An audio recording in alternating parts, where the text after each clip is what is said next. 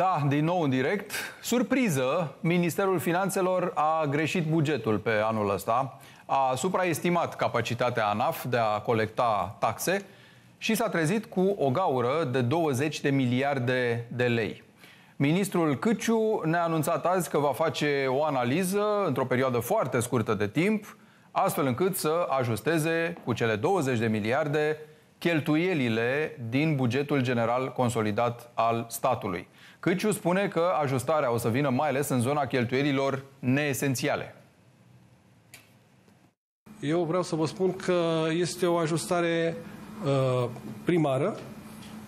Uh, cred că există multe locuri în care, n-aș vrea să o numesc neapărat risipă, dar în care uh, o consolidare fiscală să meargă și pe zona de cheltuieli bugetare. Sunt foarte convins că se va face această ajustare. Această ajustare nu va afecta pachetul social cu care această coaliție și programul nostru de anul acesta fiscal-bugetar am venit, pachetul social și pachetul economic.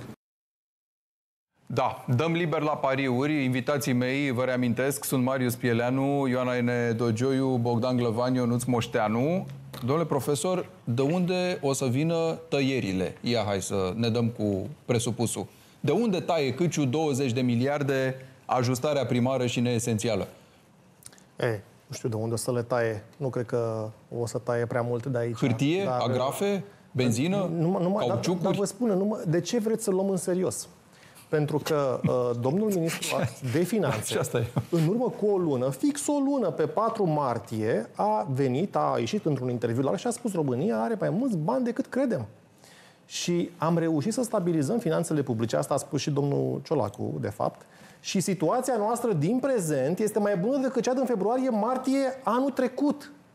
Ori, în februarie, deficitul bugetar este aproape dublu față de cel din anul trecut și iată că a trecut o lună, deci 30 de zile mai târziu, pe 4 aprilie, uh, ieri, uh, de la finanțe a venit această idee, trebuie să facem ceva, că nu, mai, nu, mai, mai, nu se mai poate, trebuie să facem ceva, să tăiem cheltuielile, că stăm prost cu banii. Deci, de la un om care, în mod evident, nu stăpânește finanțele publice, cum, cum vrei să le iei în serios? Uh, guvernul acesta nu a făcut nicio economie la bani publici, din contră, a angajat zeci de mii de oameni și a cheltuit uh, uh, aiurea mulți bani, tăind, reușind această performanță uh, care n-a mai fost în România din anii 2010, performanța de a tăia pensiile și salariile, pentru că tot domnul Căciu spunea, am redus cheltuielile cu pensiile deja. Apropo și de pensiile speciale, am redus deja cheltuielile cu pensiile, spune domnul Căciu. Păi le-am redus într-adevăr, adică le-am tăiat. Le-am tăiat până inflație. Deci nu știu de unde o să mai taie, poate de la pensii în cotură, poate nu știu de unde o să mai taie, dar eu spun ceea ce spun de multă vreme, m-am plictisit repetând, acela că impozitele, un singur lucru au făcut constant, au crescut impozitele, au adăugat noi impozite și asta vor face în continuare. Deci în cazul în care finanțele publice derapează, într-adevăr, suntem încă doar după două luni. Uh, este într-adevăr îngrijorător că n-am mai văzut în practica noastră, în practica guvernării noastre de până acum să se discute Așa de fapt repede. de o rectificare Așa bugetară repede, după da. două luni, că ei vorbesc de 1,25% din PIB. Atenție, nu e deci o rectificare bugetară după două luni. Sper ca lucrurile să meargă cât de cât mai bine. Și, într-adevăr, în, sunt locuri de unde pot, putem economisi banul public, dar nu de unde am auzit pe surse aici că se reduce numărul de posturi din ce aur și nu știu unde. Păi să fim serioși. În multe companii s-au făcut deja selecții pe UG 109, s-au numit oamenii pe 4 ani. Cum să-i dai pe ea afară? Că l-am văzut pe domnul Țuțu cât de greu a fost dat afară, mișcat de acolo. A rămas acolo până la hă, I-am văzut pe cei de la Oltenia cât de greu a fost uh, mișcați de acolo. Să nu uităm deci, ce vorba. facem cu bibliotecara de la Călăraș, care tocmai ce fusese numită în Consiliul de Administrație de la șantierul naval Mangalia 2 mai. Deci ei vor să reducă unde sunt 11 posturi într-un Consiliu de Administrație să se facă 7. Unde sunt 7 să se facă 5. Da, repet, ce facem cu toți ăștia cărora li s-au promis funcții care au n-au treabă pentru că au un CV trimis la București, cum ne spunea doamna aceea, uh, trebuie să intre într-un CA, să pricep, nu să pricep, au condus organizația de femei, o bibliotecă, nu contează, du-te la șantierul naval, fii membru în CA. Ce facem cu doamna? Rămâne fără post, dacă se reduce schema. Așa funcționează în logica asta partidele politice vechi, ca să spun așa. E greu să eviți.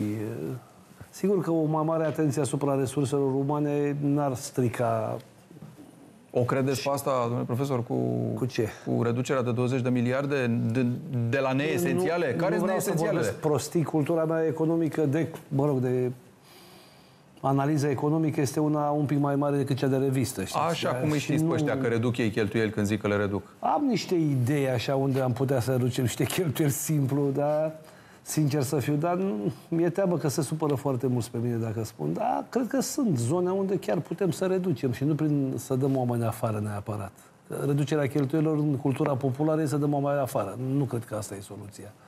Asta ne spun De ei. pildă zic acum, dacă tot, sunt instituții media de stat care înghit sute de milioane de, de, de lei vei, noi. Mă gândesc, bazată pe performanță, sigur.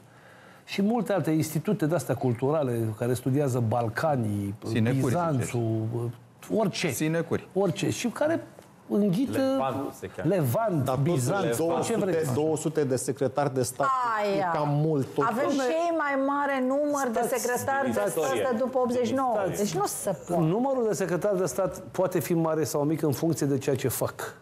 Păi ce să Ai ce facă? să faci cu atâția? Dacă nu, Domnule, dacă nu Ce să fac, faci nu, cu nu, șapte nu la pledez- Ministerul nu Muncii, pledez- domnule? Nu Problema pledez e că fiecare pentru- secretar de stat vine cu cabinet de patru oameni, cu șoferi, Adică- ai 200 cu birouri, deci toată... Aici știți, aproape, sunt costurile de, aproape de vis-a-vis back de office, cum se dumneavoastră, cheamă. înțeleg că Ministerul sunt vreo... Nu, Ministerul Sănătății. A, și Ministerul să Înțeleg și că sunt vreo Ministerul șapte Interne. secretari, 10 secretari... La de- mediu erau sunt vreo șapte trei. și vroia Tanțoș Barna 8.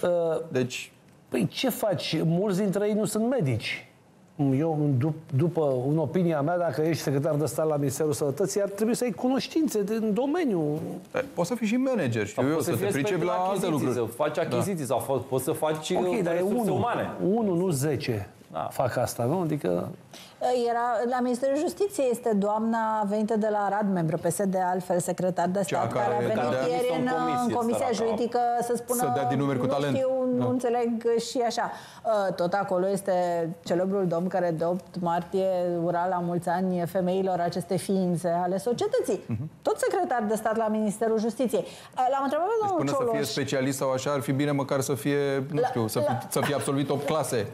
În, uh, întrebat nu doar pe pe- hârtie, ci și în uh, realitate. Da, L-am în fine. întrebat pe domnul Cioloș. Uh, guvernul Ponta, care a fost un guvern de coaliție, să ne înțelegem, n-a fost, a avut vreo 70 și ceva de secretari de stat. A sărit la 100, un pic a sărit guvernul Cioloș și am ajuns la 200. Da. Deci nu se poate așa ceva. Este monstruos. Deci tot guvern PSD a funcționat cu 80 de secretari de stat și acum avem monstruozitatea asta și uh, ne, a crescut cheltuielile. Păi cum naiba să nu crească? Exact așa e că toți vin cu cabinete, cu șoferi, cu secretare, cu cheltuieli, cu un buget alocat și nu fac nimic. Asta, apropo de ce spunea domnul Pilan, de vechile partide PNL și PSD au devenit niște agenții de plasare a forței de muncă slab calificate la stat. Asta fac. Eu văd la mine în Argeș, toți, psd cam toți aveau servici la stat, acum și peneliștii s-au toți servici la stat, mă mai întâlnesc cu câte unul și, a, păi sunt uh, director, sunt vicepreședinte la nu știu ce, ce ești tu, mă?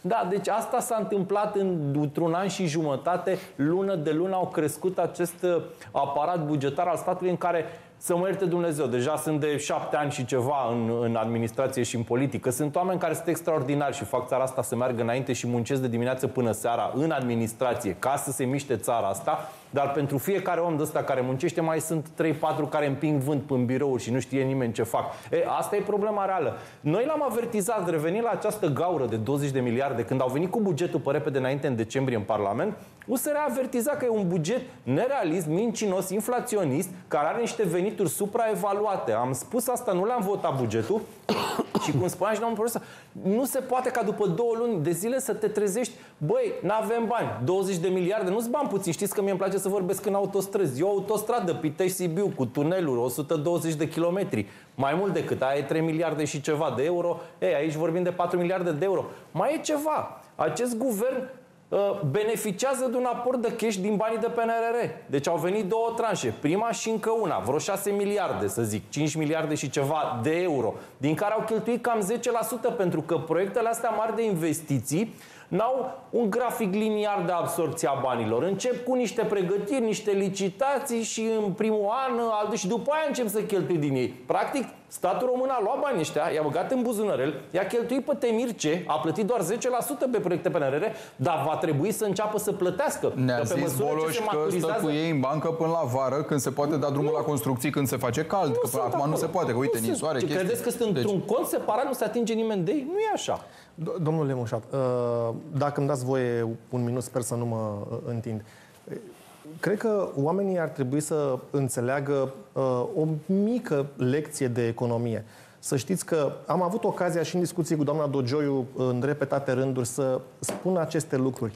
Cheltuielile statului român, din păcate, sunt pe un trend uh, ascendent și sunt factori care, factori determinanți, factori foarte puternici care le împing în sus și trebuie să vâslim, să ținem cu foarte multă fermitate frâiele ca să nu deraiem. Adică nu e, nu e, nu e foarte uh, ușoară sarcina asta. De ce? Populația îmbătrânește, cheltuielile cu pensiile vor tot crește. Uh, De armată avem nevoie, avem nevoie să facem achiziții, da? după cum se vede. Deci, în educație trebuie să investim. Fondurile europene care au venit și vin, vin și ele, dar vin și ele cu o contribuție din partea României acolo, un 10%, un 5%, un cât trebuie acolo. Da? Deci ele presupun încă o cheltuială din partea noastră. Sigur că da, dacă le ducem în investiții sunt lucruri bune, dar statul trebuie să ia de undeva această contribuție, această cofinanțare ca să o aloce aici. Deci noi trebuie să înțelegem tot, tot acest motoraș, tot acest univers, că cheltuielile statului român sunt împinse în sus de niște plăci tectonice, de niște factori tectonici. Și atunci, tu ca să ții lucrurile sub în frâu, că apropo și de întrebarea, dar de inflație, când o să scăpăm? Păi nu o să scăpăm. Asta e o chestie care eu o spun în mod repetat. Nu o să, n-o să ne mai întoarcem la noi la 2%, la 1-2% inflație. Tocmai din motivul ăsta că plăcile tectonice astea despre care vorbesc ne împing în sus. Și ca să ținem cât de cât lucrurile sub control, trebuie să facem reforme sănătoase oriunde vedem cu ochii. Adică pensii speciale. Hai, cât putem de mult să facem ai de aici economii. Secretar de stat, cât putem de mult să facem economii. Până legea educației, ce facem? Inventăm noi structuri, noi agenții, asta facem. Noi creăm noi uh, modalități de cheltuire a banului public. Nu, greșit. Invers trebuie să mergem. Pentru că altfel deraiem. O suntem ca un tren ăla care cade de pe pod. Și- Aici o să ne ducă. Și apropo de asta, noi l-am chemat săptămâna viitoare la ora guvernului pe domnul Câciu. S-a, au aprobat astăzi cei de la PSD și de la ma- major, coaliția de guvernare, au aprobat în Comitetul Liderilor chemarea de săptămâna viitoare. Marți ar trebui să vină în Parlament, tocmai de aia l-am chemat. Haideți să venim să înțelegem și noi. Una, ce se întâmplă cu încasările? Doi, de unde tăiați astea 20 de miliarde? Că așa tem da niște cheltuieli. Câtă benzină să consume de, aparatul de stat de 20 de miliarde? Că știm și noi, e o sumă imensă. Deci asta cu bucățele, cu tăieri de bucățele, de agrafe, cum ai zis, asta nu o Sporuri, să iasă. nu poți să iei înapoi. Da. Posturi, ce faci? Trebuie. Desfințezi acum? Dar am auzit altceva. Dar că asta nu vor se fac să... mâine. Deci asta trebuie făcute Da. niște schimbări de lege, reformă structurală cu care noi suntem de acord. Mâine votăm cu două mâini. Să reducem aparatul bugetar, să-l facem mai eficient, să punem obiective de performanță, să bonusăm oamenii care trag. Da, da, mâine. Aș face asta cam privat. Dar asta cere timp. Nu o să se facă așa de la lună la lună. Că n-are, n-are legislație. Pentru asta. Una din uh, metode, metodele de reducere a cheltuielilor, tot pe surse alături de cele cu redus posturile din ceauri și așa mai departe, ar fi să fie concediați toți cei care cumulează pensie cu salariu la stat. Ciuc. Uite aici, Încă o uh, găselniță populistă. Ce să vedem? Îi căutăm cu lumânarea să vedem cine trebuie să plece? mai auzit asta. Ea nu știu câta oară când se rotește chestia asta și nu o să aibă niciun succes. Păi, dar să mă iertă Dumnezeu, cu domnul premier, ce, sau ne pregătim că oricum vine rotativa sau cum? Adică, hai să fim serioși. E foarte greu să faci chestia asta. E foarte greu pentru că e foarte multă clientelă în, în pozițiile astea. Deci eu nu cred asta, cred că e aruncată iarăși pe surse ca să mai uh, mutăm atenția, să ne mai gândim la ceva, să vorbim despre ceva. Repet, s-o văd făcută, că am auzit vorbindu-se despre ea uh, de cel puțin trei ori până acum. Și de fiecare dată, dintr-un motiv sau altul, a sucombat. E, hai să o vedem. Sunt secretar de stat, pensionar, inclusiv la justiție, este un fost judecător, sunt o grămadă. Va fi... Că cumulează pensie cu salariu. Păi asta am zis, începând cu domnul premier sau ne pregătim de rotativă. Deci, Bun. Chestiunea e mai serioasă uh, decât atât în privința pensiilor speciale, pentru că vine un avertisment fără precedent de la Comisia Europeană. Reforma pensiilor speciale nu se negociază. Ori se face ca în PNRR, conform angajamentului, ori nu se dau banii. Cea mai mare problemă este uh, că reducerile cheltuielilor cu beneficiarii de pensii speciale sunt total nesemnificative în forma pe care o discută acum uh, politicienii de la putere. Comisia a transmis că trebuie specificat impactul bugetar pe care coaliția nu l-a specificat până în acest moment, ăsta fiind obiectivul principal și anume reducerea cheltuielilor cu pensiile speciale. A mai spus Comisia că guvernul trebuie să respecte toate recomandările de la Banca Mondială, venite de altfel pe bani grei plătiți de statul român, uh, și de asemenea că trebuie introduse toate amendamentele sugerate de Banca Mondială și de Comisia Europeană în acest proiect de lege, înainte de să merge cu el mai departe în dezbaterea parlamentară. Deci să nu mai tragă de timp, de-aia ziceam ceva mai devreme că toată manevra uh, pe care am văzut-o la pragul pentru abuz s-ar putea să nu țină în cazul ăsta, pentru că, ne spune Comisia Europeană, e musai să opriți orice dezbatere în Parlament până nu introduceți din start aceste uh, amendamente și mai ales și mai ales să specificați impactul bugetar. Ce răspunde la toată chestiunea asta vicepremierul Sorin Grindeanu, numărul 2 din PSD? Părerea mea personală, am transmis-o și colegilor mei de partid care gestionează acest domeniu și anume PSD-ul trebuie să intre, din punctul meu de vedere, sau trebuie adoptată, nu doar PSD-ul, trebuie adoptată soluția radicală, fără pensii speciale, deloc, dar deloc. Nu merge altcumva discutat această chestiune, că e o m, recalculare, că eu m, facem așa o m, spoială din asta sau cum vreți dumneavoastră să o numiți. Asta este părerea mea. Că aceste lucruri trebuie eliminate total. Da, total. Dacă nu se va adopta această chestiune, eu nu văd ce soluție, la ce soluție se va ajunge ca eliminarea sau acele, cred că sunt în jur de 3 miliarde, să nu fie, să nu fie retrase. Eu vă spun că România nu-și permite să piardă 3 miliarde din PNRR și asta vă spun ca vicepremier.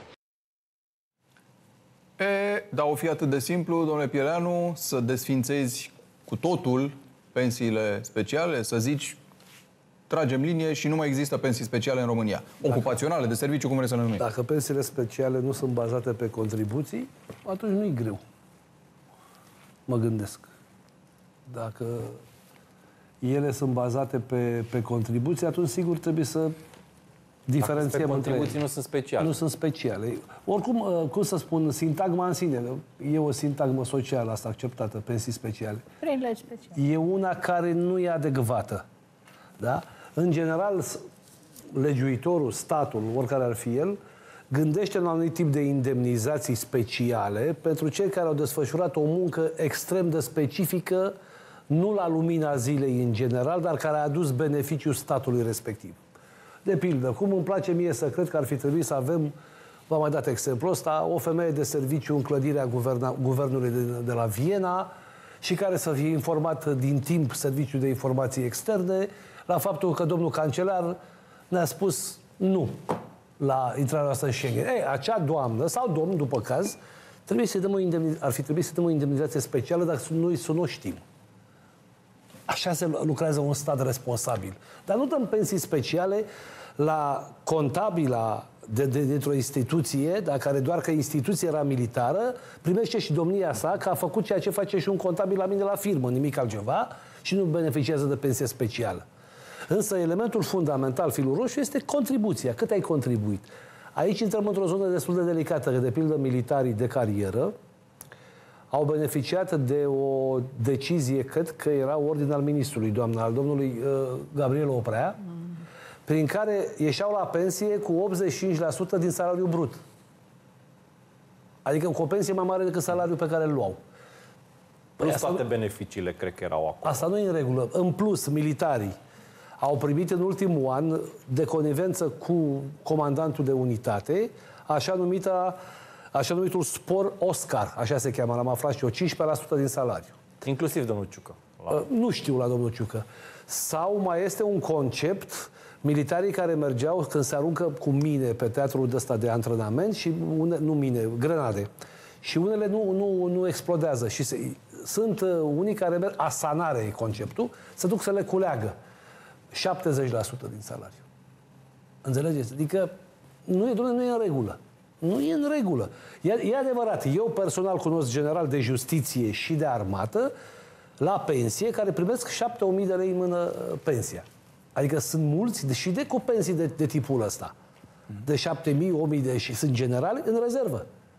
Adică am luat exemplele astea, 600 de mii de, de 60 de mii de lei uh, noi, uh, 20 de mii de euro, care nu sunt multe, dar care au creat nemulțumire publică, tensiune publică, da?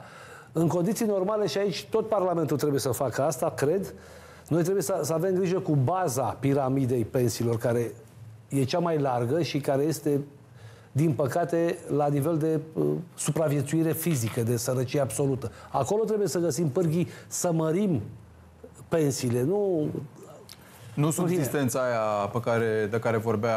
nu subzistența. Nu poți să trăiești într-o, într-o țară cu 300 de euro pensii. Uh, da. subsistență, Nu vă poți. amintiți ce era în mintea lor subsistența? Era 4.000 de lei pensia unui Da, militar. Aia da, era subsistența da, da. în capul lor. Tema este Și da, delicată. 700 pensia- Mai e o Da, chestiune. contributiv. Tema este delicată pentru că uh, nici abrupt nu trebuie, nu, nu trebuie abordată. USR-ul a încercat ceva Dar în sensul trebuie să ăsta. începem cu asta. Pentru... Pentru că ai un număr de magistrați relativ ridicat cu pensii speciale. Și aici e o zonă extrem de, eh, cum să spun, de fluidă, da? Că politicul, evident că n-are curaj să, să, să abordeze această chestiune. Curaj.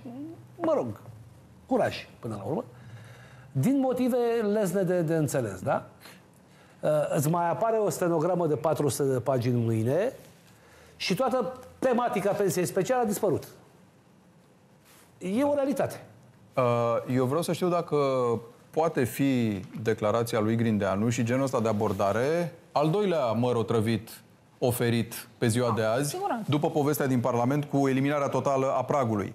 Adică soluția radicală pe care o propune Grindeanu să se desfințeze cu totul dacă este aia care ne duce undeva altfel decât într-un gard.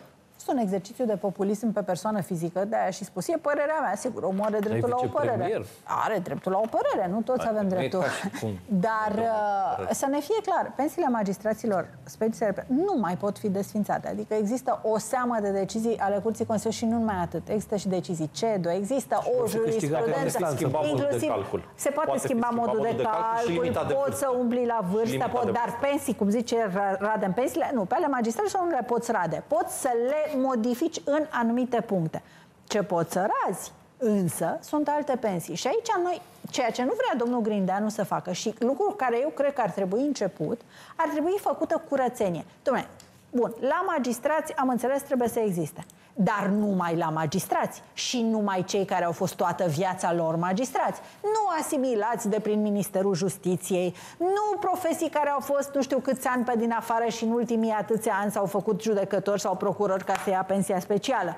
La uh, armată, da? Mesiile militare. Ok, sunt de acord că cel care se duce să culeagă mine, cel care se duce la război, sunt de acord În să mod ia și real, aceea și nu alții. să ia și- Dar nu, doamna contabilă, domnul de la resurse umane, domnul de la intendență sau mai șoferul. De ce șoferul Asimilații, de la... nu? De care da, de vorbeam ce ceva mai devreme. șoferul dintr-o parte să fie mai bine Tesa, plătit Tesa, ca... Tesa, Tesa. Tehnic administrativ, exact. Ăia. De ce? Jap, afară de ceale. Și după ce ai făcut, nu mai discut de funcționari parlamentari, de asta aici trebuie ras tot.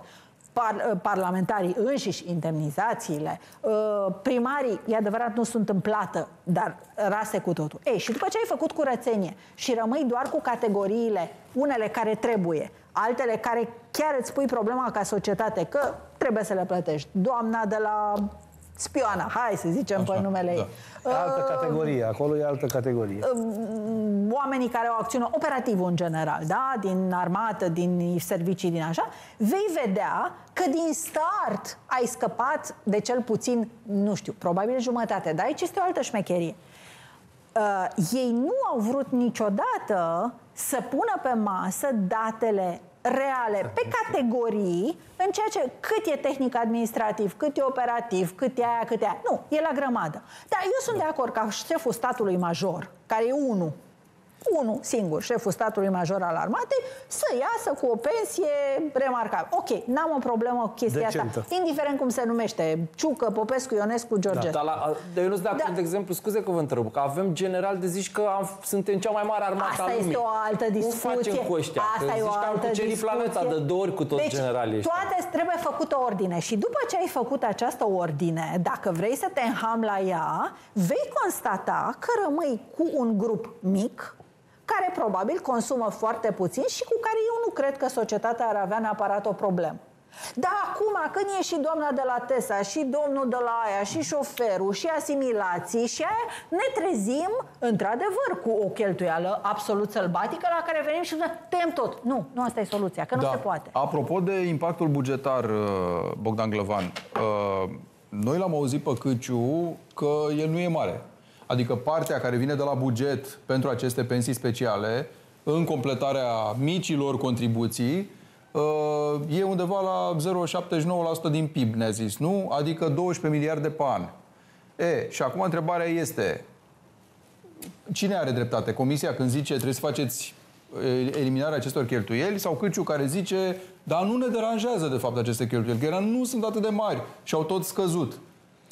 Cum păi- facem noi să eliminăm impactul bugetar de care vorbește Comisia Europeană? Care zice, domnule, terminați cu contribuția de la buget. Ea nu are ce să caute într-o pensie. Ea trebuie, pensia trebuie să fie bazată pe contribuții, nu pe o alocare bugetară.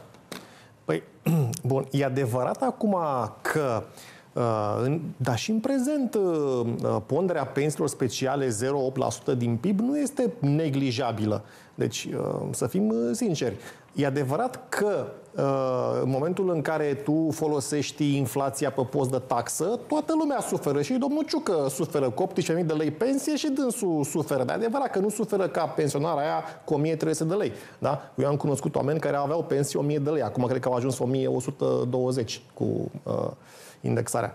Uh, deci toată lumea suferă și atunci ponderea cheltuielilor scade. E adevărat, dar oameni buni, inflația merge, dar merge tot în jos, așa, adică nu o să, ne, nu o să poată folosi guvernul inflația asta la infinit și să uh, radă, de fapt, majoritatea pensionarilor din țara asta, 5 milioane de oameni, să le radă nivelul de trai. Nu. Și atunci trebuie să găsești o soluție sustenabilă pe termen lung, adică o soluție pe bune, nu o soluție pe nebune. Soluția pe bune este să raționalizezi aceste pensii astfel încât să nu mai existe aceste 20 de tipuri de pensii. IT-istul de la Curtea de Conturi are și el pensie specială. Cum discutam aici, deci trebuie să le raționalizezi, să le păstrezi pe un sectoare strict delimitate și dacă se poate, să le pui într-o legislație unitară care să prevadă acest principiu. Domne, pensia ține cont de contributivitate. A, că dacă ai fost militar, presupui că faci un anumit tip de muncă, precum minerul, care are nu știu ce grupă de muncă grupă, sau da. clasă de muncă, și atunci nu o să ieși la vârsta standard aia de pensionare 65, ci o să ieși nu la 45, cum a spus domnul Oprea sau cine a spus acum 10 ani în România, da, nu la 45, nu o să ieși la 55, cum e în Anglia sau cum e... Ok, vrei să ieși la 45, bine, îți dăm dreptul să ieși după 20 de ani, da? Nu după, ci după faptul că ai fost la bucătărie 10 ani și 2 ani ai fost în Afganistan. Și acum vrei și tu să ieși la pensie că ai făcut 20 de ani. Nu, ok, ieși la pensie, dar cu pensie parțială, ca în Marea Britanie. Adică hai să ne mutăm pe sistemele consacrate. Că așa v-am spus și mai devreme. Ne uităm la ce modele există în democrațiile avansate. Și acolo vedem că în America se iese după 20 de ani cu 40% din salariu, nu cu 85% din salariu. Deci de ce țin ai noștri cu dinții de chestia asta? Pentru că mari câștigători sunt doar acești generali despre care vorbim aici. La nivelul omului militar, locotenentului, da, sergentului. Astea sunt, astea sunt diferențe foarte mici. Și atunci reforma ne va permite să creștem aceste pensii în ansamblul lor și pentru civili și pentru militari, dar astfel încât oamenii de la bază să simtă sau să nu fie afectați, în vreme ce cei care și-au luat privilegii exorbitante și nesimțite să suporte povara ajustării. Da. Pare o luptă care pe care, asta cu Comisia Europeană. De data asta pare că soluție de negociere nu există. Vine o veste proastă și în privința uh, compensațiilor pentru fermieri în urma întregii tevaturi cu traficul de cereale ucrainene în România. Că nici acolo, de fapt, suma uh, nu o să crească mai mult de cele 10 miliarde și uh, jumătate. 10 milioane și jumătate, de fapt, de, de euro. De ce se întâmplă asta, aflăm imediat. Rămâneți cu noi.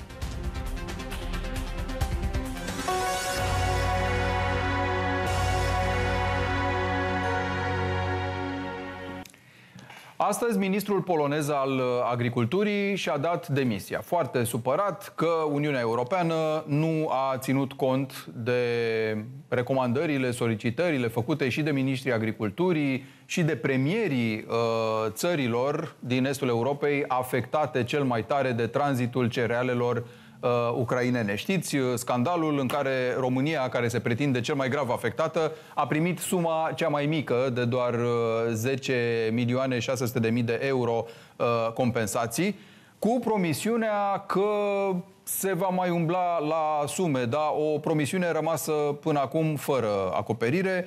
Ce a încercat uh, Ursula von der Leyen săptămâna trecută a fost doar să mai panseze criticile venite din partea președintelui Claus Iohannis, care zicea, domnule, nu se poate, calculele sunt seci, reci, nu țin cont de realități, Uniunea Europeană a calculat greșit. E, ce face ministrul Daia? Ministrul Daia spune că el nu-și dă demisia în niciun caz, nu părăsesc câmpul muncii, este formularea metaforico-agricolă a domnului uh, Daia. Dar, trecând la lucruri serioase, ce se întâmplă totuși cu compensațiile? Avem șanse să luăm mai mult? Uh, e în legătură cu noi Adrian Oros, fost ministru al agriculturii. Bună seara, domnule Oros! Explicați-ne dacă avem șanse să luăm mai mult, pentru că văd că în 4 aprilie regulamentul de punere în aplicare UE a compensațiilor prevede tot 10,6 milioane de euro. Da, din nefericire pentru fermieri, astăzi a fost publicat în jurnalul oficial al Uniunii Europene acest uh, regulament uh, care a apărut ieri. Și acesta spune sec, într-adevăr, România va primi 10 milioane 50 de mii euro, Bulgaria 16 milioane 750, iar Polonia 29 de milioane 500 de mii de euro. Exact cum uh, erau cifrele anunțate anterior. Din păcate, asta este cifra oficială, prea puțin, prea târziu, deși sunt cei mai uh, afectați, fermierii români vor fi cei mai puțin compensați. Sigur, asta este și un rezultat al interesului, al implicării și mai ales a influenței pe care actuala guvernare o are la nivel european, adică aproape zero. Deși au dat cu pumnul în masă uh, la, pe la televiziune săptămânile trecute, cum că o să spună la Bruxelles și o să ceară bani mai mulți, se pare că nu au reușit nici domnul președinte Iohannis, nici domnul Taia, nici influentul vicepreședinte al Comisiei de Agricultură din Parlamentul European, domnul Daniel Buda. Sigur că domnul Daia nu o să-și dea uh, demisia, el este ținut în continuare în brațe de domnul Ciolacu și de vânătorii de subvenții, care sunt foarte interesați ca domnia sa să rămână acolo. Iar din nefericire a contribuit uh, destul de consistent la această nereușită, pentru că de-a lungul timpului domnia sa a dat tot felul de declarații contradictorii, Uh, și circul mediatic pe care l-a făcut, ba urcându-se într-un camion să verifice și după ce s-a dat jos, deși camionul venea din, uh, dacă vă amintiți, venea din Moldova și pleca în Bulgaria, n-avea treabă cu Ucraina, a spus că nu sunt, nu sunt probleme cu cerealele din Ucraina, uh-huh. apoi ne-a spus că sunt probleme Ce să înțeleagă cei de la comisie dacă un uh, ministru, un demnitar, transmite asemenea, de, uh, face asemenea declarații contradictorii? Probabil nici cifrele care le-a trimis nu au fost foarte bine uh, fundamentate și consolidate și, din nefericire, asta este rezultatul. Bun, acum uh, de unde știm noi că suma asta nu se mai modifică sau care sunt indiciile că lucrurile rămân așa? După ce s-au făcut niște, hai să zicem, niște, niște promisiuni ferme, dar s-au dat totuși de la vârful Uniunii Europene niște asigurări că vor mai fi găsiți niște bani pentru uh, compensările astea. Păi așa ar, și, așa ar fi și normal, pentru că pierderile înregistrate de fermierii europeni sunt foarte mari. Aceste sume compensatorii sunt uh, nici uh, 10% din pierderile care ne-au registrat, iar fermierii europeni uh, fac presiuni la nivelul Uniunii Europene prin Copa Gogega, deci uh, reprezentanții lor acolo fac presiuni mari pentru că ei au spus de luni de zile că este prea puțin, că este prea târziu și că prea haotic Bun, dar ziceți dumneavoastră că dacă s-a publicat în acest jurnal al Uniunii Europene, lucrurile așa rămân. Adică a, aici e întrebarea. Se mai poate suplimenta suma chiar dacă a fost publicată în uh, jurnalul UE? Din nefericire, până în toamnă, până în 30 septembrie, când trebuie să fie făcute toate plățile, suma nu poate fi modificată, iar statele mm. membre care vor primi, care au primit aprobarea să dea aceste compensații, trebuie să trimită documentele până în 30 iunie, în care să spună de ce, la cine și care au fost criteriile. După ce vor plăti acești bani, din bani naționali, banii aceștia vor fi primiți de la Uniunea Europeană, după care trebuie începute alte demersuri. Eu sper că în paralel vor face demersuri împreună cu celelalte țări și cu asociațiile de fermieri, astfel încât foarte repede să se, dea un, să se facă un nou regulament și să se, fac, să se facă o nouă schemă de sprijin cu alte sume alocate. Da. Uh, bun, acum noi am văzut că sunt uh, presiuni și în teren, domnule Pieleanu, nu doar pe masa Uniunii Europene, că sunt fermieri care să duc să blocheze pe la granițe transporturile în semn de protest, nu? Aceste transporturi ucrainene. Și marea fericire a domnului Daia, pe care ne-a comunicat-o acum două săptămâni când am aflat de eșec, a fost că putem pune noi uh, din bugetul național o sumă egală cu aia primită de la UE, ca și cum asta era problema. Să mai scoatem niște bani de la buget în loc să-i primim de afară. Da, din păcate, domnul Daia este totuși un ministru al altor timpuri, știți? Da. Și care și închipuie că politicile agricole se realizează făcând vizite de lucru pare rău, nu ne cunoaștem, nu am o părere neapărat proastă despre domnia sa, numai că ne trebuie un om al vremurilor noastre, știți, acolo. E adevărat că nu are toată, în opinia mea, toată uh, vinovăția asupra sa, fiindcă, până la urmă, și compensările astea, sigur că pornesc din zona politicilor agricole ale României, dar sunt și o chestiune de politică externă a României. Știți? Că diplomația românească n-a reușit să convingă nici măcar Comisia că totuși suntem vecini cu Ucraina și am făcut multe eforturi și le facem, iar fermierii din România chiar pierd masiv. Da? E adevărat Diplomația română n-a reușit să convingă niciun jurnalist BBC că uh, e în stare să răspundă la întrebări. Acum, iertați-mă. Da. Eu aveam o oarecare idee despre prestația ministrului Aurescu, dar văzându-i interviuri la BBC m-am lămurit. Dar nu e momentul acum să E adevărat, pe de altă parte, că, vedeți, tot antamul ăsta suveranist, extremist, că iau ce, ce face Comisia Fermierilor Români, a fost devolat în ultimele zile, când, pe de o parte, fermierii bulgari au ieșit și au blocat granița, ei având exact aceeași problemă ca a noastră, și astăzi, nu mai târziu de astăzi, fermierii polonezi, în plină vizita președintelui Ucrainei în Polonia, au blocat tot ce se putea bloca. Deci nemulțumirea nu e doar a fermierilor români. Numai că diplomația poloneză s-a mișcat mai bine, e o realitate, sigur, și țara e alta, iar bulgarii, ca de obicei, în ultima vreme, ne au înainte. Au reușit să se mobilizeze, să blocheze fermierii lor granița. Fermierii din România unde sunt? Fermierii din România, România amenință Sunt la subvenții la Ministerul Agriculturii, aici ah, aproape, bun. dimineața. Da. da, despre asta e vorba. Domnule Glovan, cum facem cu Mie subvenția se pare că asta, care uh, nu e cât trebuie. Uh, uh, nu subvenția, compensația, iertați. Asistăm la al doilea eșec uh, important în planul, poate chiar al treilea eșec important în planul politicii europene, politicii externe a României, cel mai mare fiind Schengen-ul, evident. După care al doilea cred că a fost cu gestionarea uh, energiei, situației din energie, uh, unde, mă rog, acolo ne-au mințit complet. Uh, și al treilea este acum, când uh, iarăși ar trebui să beneficiem de la Uniune de un sprijin adecvat, proporțional, cu contribuția României. Acum, a- pentru a spune lucrurile până la capăt, trebuie să spunem că în măsura în care guvernul României este incompetent și nu asigură culoare eficientă de tranzit pentru cerealele românești da, până la Constanța, Uh, Sigur că ele rămân aici, să cantonează, să revarsă pe piața noastră, adică uh, problema poate fi abordată din mai multe puncte, mai multe unghiuri. Uh, însă cert este că asta este situația. Atât am reușit noi să tranzităm, restul au rămas aici, s-au vărsat pe piață. Astea sunt uh, pagubele. Nu am reușit să le documentăm, să le argumentăm prea bine.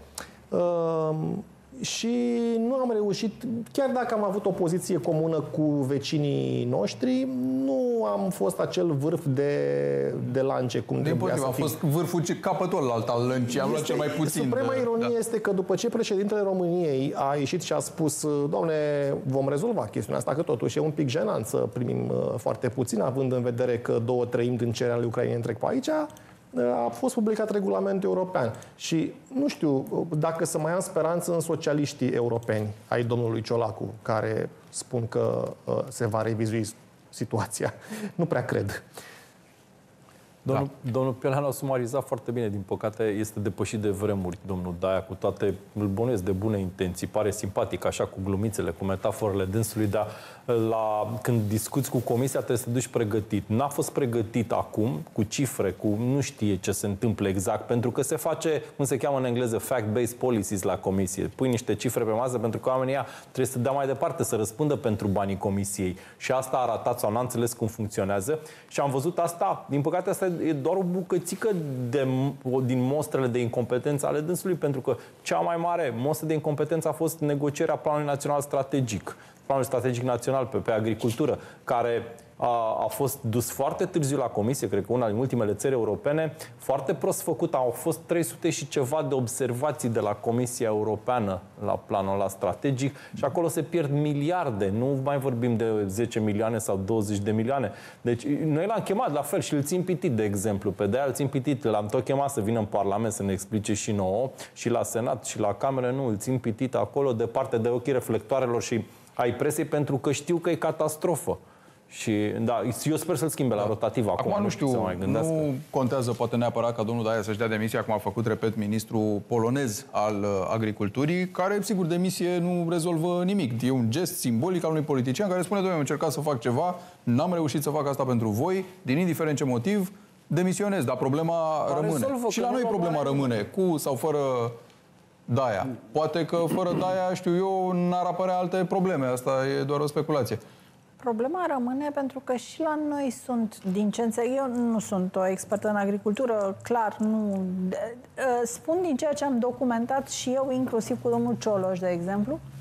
Deci, pe de o parte, datele au fost prost trimise pentru că așa lucrează aparatele și ministerele astea pline cu funcționari, cu clienți, cu oameni aduși, 100 de secretari de stat cu unul peste altul și așa mai departe, și care nu sunt în stare să gândească un sistem de raportare avantajos, pe de altă parte, și la noi, întâi declarăm o producție foarte mică m, pentru că sunt subvenții pentru secetă, care n-au venit între da. timp, e o altă discuție, înțeleg. Da, vrem să că luăm cât mai mare subvenție pentru secetă, declarăm o producție mică. Anul viitor, când se iau producții pe, uh, subvenții pentru pierdere, ce am raportat anul trecut mic ne dezavantajează, care e baza de calcul. Și îi spun, păi anul trecut ați raportat atât anul ăsta, că unde e pierderea? Ne-am încurcat, ne-am dat clasic cu dreptul în stângul la povestea este, asta, da. Este o chestiune care, sigur, domnul Daia poartă o răspundere. Până la urmă, e povestea aia. Ești șef de instituție, răspunzi. Chiar dacă n-ai semnat tu personal. E o răspundere politică în cazul domnului Daia. E un eșec politic. Dar dincolo de asta, sunt foarte multe lucruri care nu funcționează în minister, dar și în mentalități de asta. Hai să o mai ciugurim. Ce evaziune se face în agricultură? Aoleu! Raportăm mai puțin, o mai mermelim colea, mai ascundem... E, astea se răzbună în momentul în care totul Da. vine pe date, pe cifre exacte și în funcție de cifre îți dau. Dacă secretarii de stat or fi bibliotecara de la Călăraș ajuns acolo că trebuia Iată. repartizată undeva, asta e situația. Îi mulțumesc, domnule Oros, nu mai avem timp, din păcate. Mulțumesc și invitațiilor din platou. Ne revedem mâine seară pe curând.